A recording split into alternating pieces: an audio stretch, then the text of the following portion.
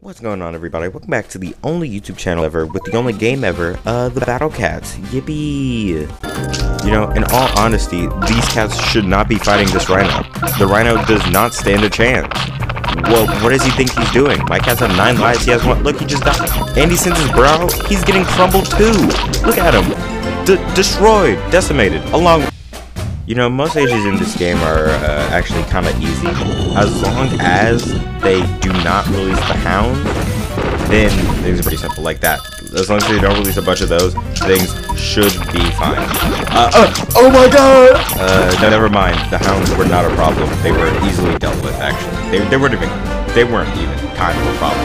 They were of zero difficulty. I destroyed. So far, this set of stages has been pretty easy. Like, nothing really has gotten in my way. Is that a duck? Really? You send out a duck as my next opponent? You're an idiot. Oh, whoa, whoa, whoa! Oh my god, he's back and he's more opaque. Even with the freakiness of the last battle, I think I could, uh, I think these stages have been like super easy. The only thing that would give me trouble is like a black elephant. And even then, I could probably beat it with the, uh, what's called? The power of friendship.